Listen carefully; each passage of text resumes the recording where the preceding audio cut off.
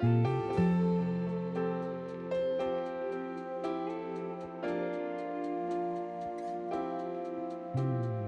God will make a way where there seems to be no way.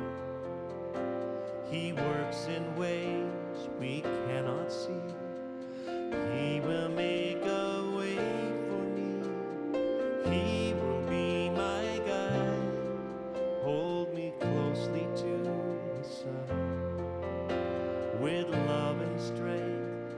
each new day.